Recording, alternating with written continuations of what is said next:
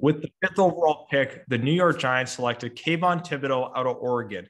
Now, a lot of fans should be super excited about this, but before I jump into the video, hit that subscribe button if you are new to utility sports. It means a lot. And we're covering a lot of the draft coverage and a lot of other NFL content. Now, looking at Kayvon Thibodeaux as a prospect and the New York Giants, how is this a fit? I think this is an awesome fit from the standpoint of what Kayvon Thibodeaux can bring. He's a guy that is superior off the edge, extremely quick, athletic, great with his hands, uses power, uses finesse. There's so much to love about him as an individual prospect. I think New York Giants fans should be really, really pumped about getting him.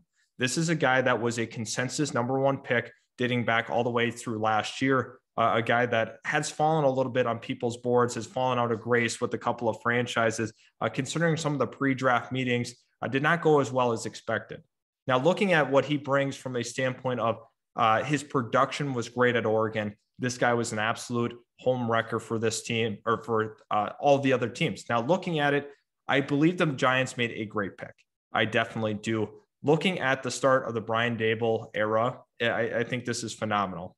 Getting a guy on this defense this talented and then having pick seven to kind of lean back on and potentially take an offensive player or just continuing to add to the defense is a huge plus for this franchise. The New York Giants absolutely made the right decision. I like this from the standpoint of you're giving your defense a guy that is a double double digit sack guy for likely his entire career. I think he has that much upside.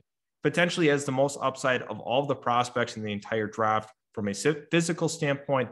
And technically, he's going to get a lot better. He's going to be um, improving year by year. I definitely think this is something that the New York Giants had to focus in on was taking a home run level prospect.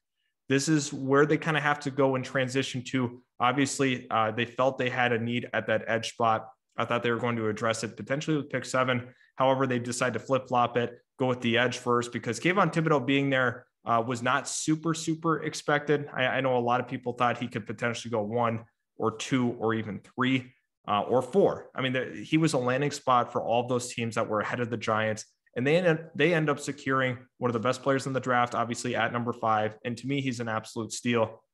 Um, I considered him to be potentially my number one guy my big board, just considering of how much of a freak athlete he is and his ability to win with power and with finesse is a big plus in this league. The New York Giants were probably also considering tackle at that spot. Um, you know, Ikem Ekwonu, Evan Neal were probably real possibilities here. However, it, it's nice to have the great luxury of having two top seven selections, which is super, super rare to have.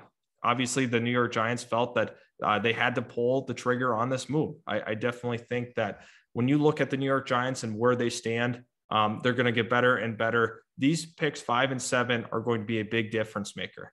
Now, if we go ahead and analyze the actual grade of it, I give this an A level grade. I think that this is a prospect that you don't want to miss. And they definitely didn't, you know, kind of balk at the opportunity. They went ahead and selected potentially what they thought was the best guy available. And uh, honestly, this was a great move by the team. I think a lot of fans should be excited. Let me know in the comments section below if you felt this was the right pick for your New York Giants. Thanks for stopping by. Don't forget to hit that subscribe button if you want to see more future NFL content. I appreciate all the support and let me know in the comment section below what you give this grade.